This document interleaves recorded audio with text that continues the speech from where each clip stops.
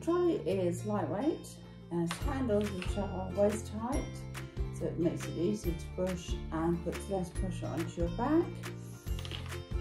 Gratnells trays fit nicely onto each shelf so it can be used in store practicals that are ready to go out into the labs and can be wheeled easily into the labs.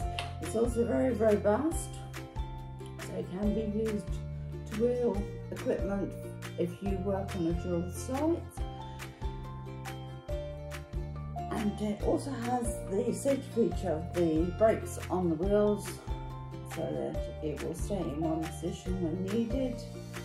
Just press down easily with your foot so it doesn't move. When you're on the release, push the top